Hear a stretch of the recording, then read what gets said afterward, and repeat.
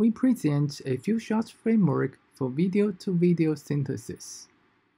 Our network can translate high-level representation videos to photorealistic videos based on an example image.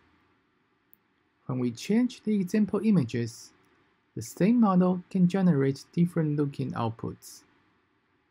For example, given an image of a person, we can transfer the motion of other persons to the person in the example image. Here are the synthesized sequences.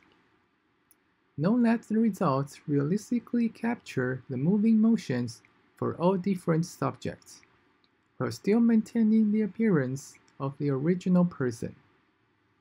This shows that our model can be generalized to unseen subjects not present in the training set. Here we show more examples of different dancing sequences.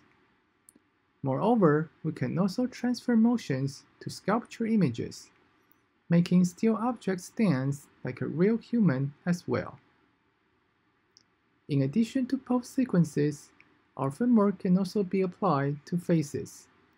Here we show the example images, the driving sequences which we steal the motion from, and the synthesized results.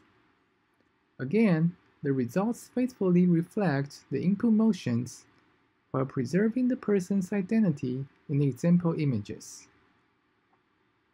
We can also transfer motion to paintings, thus making still pictures talk in a lively way.